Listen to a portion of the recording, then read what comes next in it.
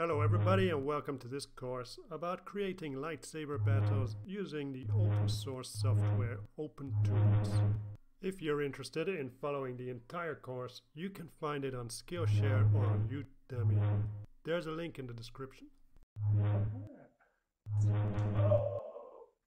In the previous video we animated my severed arm. It sounds so morbid every time I say that. Anyway, in this video we're going to use special effects in OpenToonz to delete the original arm from my footage. So let's go. What we're going to do is we're going to use a local transparency special effects. But before we do that, we need to first draw a transparency mask. So let's start by creating a new level and let's make it a vector level. We're gonna name it transparency mask. I already created it once before, so I'm just to save time, I'm gonna rename it to a new mask. And I'm gonna start by drawing a rectangle covering the entire screen.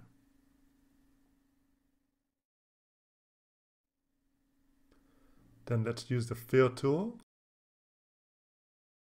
Create a new color white and fill it in. And just to demonstrate, I'm going to add a circle.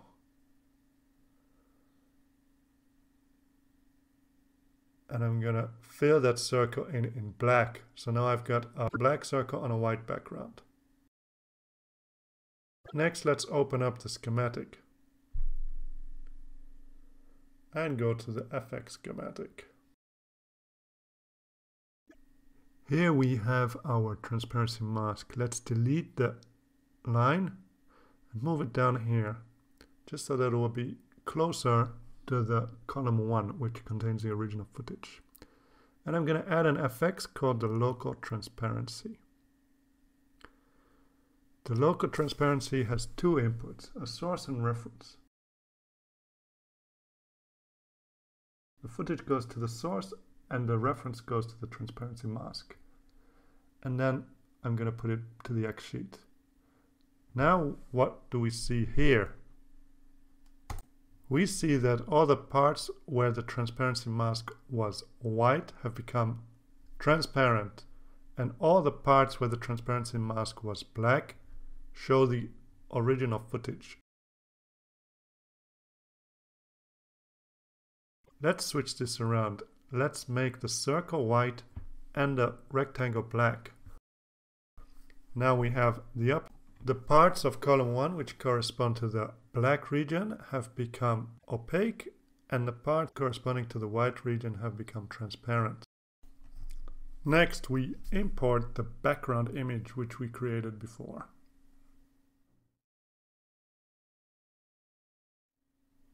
And let's move this background image all the way to the back behind all the other columns. And as you can see, now it looks like a part of my body has been made invisible. Okay, let's extend these layers down.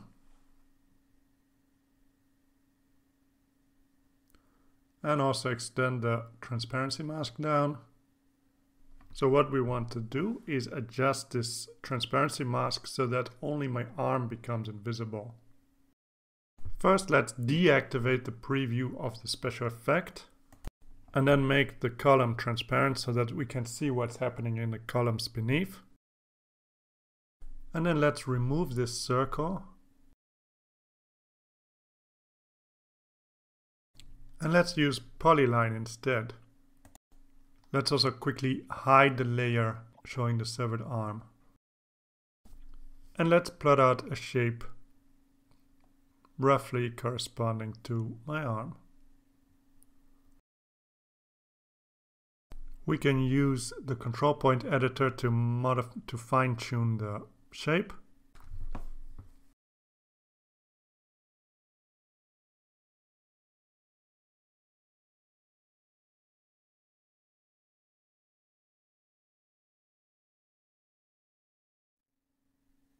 And let's use the fill tool to fill it in in white. And let's reactivate the special effects preview. and make sure that columns 3 and 4 are properly hidden. Okay, so now as we scrub through the timeline, we see that we will need to adjust the transparency mask as I move around. So let me go down to a later frame and press on D to duplicate the drawing. And in the new drawing, I can modify the control points using the control point editor.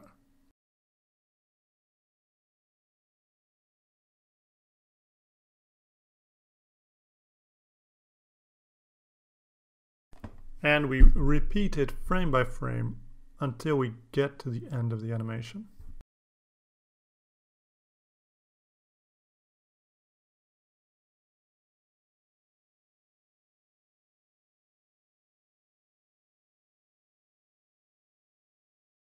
Okay, let's see what it looks like.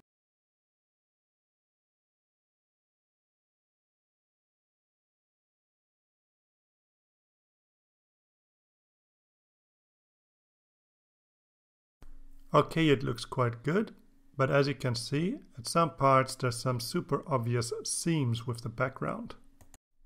We can solve this by making the transparency mask a bit blurry so that the seams are not that obvious anymore. We can apply a blur to the transparency mask using a special effect.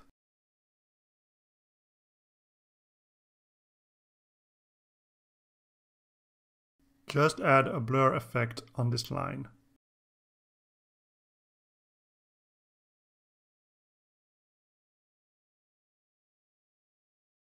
Looking at the shoulder, we see that the blur effect is a bit too strong now. So double click on the blur rectangle and decrease the strength of the blur.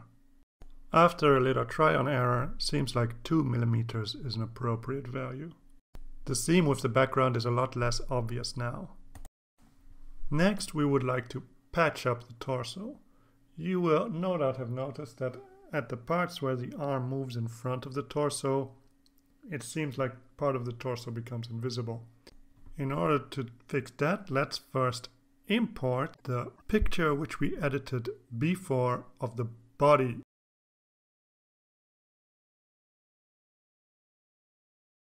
And let's move it to just before the background. And as you can see, it already does a lot to cover up the invisible parts of the torso.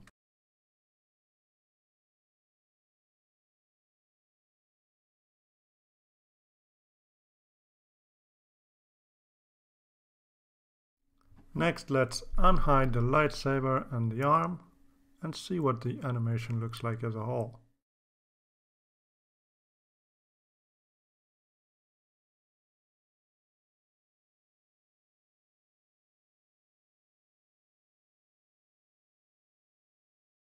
Or in high speed, Looks good. We just need to make some adjustments here to the duration of these columns. And then finally, the last thing we need to do is go through the animation and look for blemishes like these.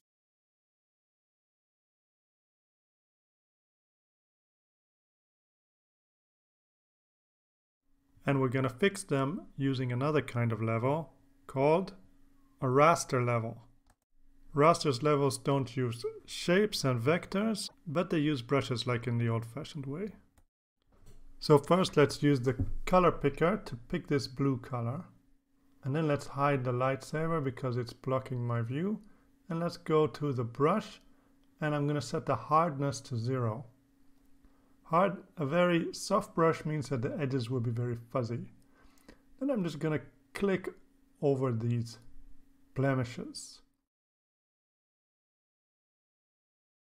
And we need to extend this drawing to cover more than one frame, of course.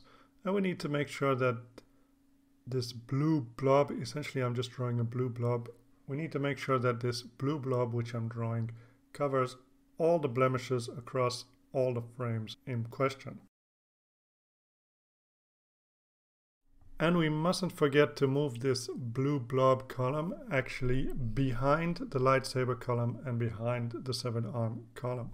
Otherwise, the blob will block the view of the lightsaber and the falling arm.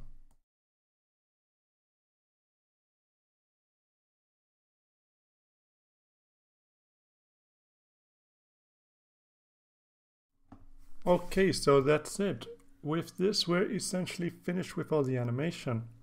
In the next video, we're gonna add audio resources. So thanks for watching this video, and I will see you in the next video. Bye bye! So I hope you liked this video. If you did, why not support this channel by liking and subscribing. You can also check out my website for more free stuff. So long for now, see you in the next video. Bye bye!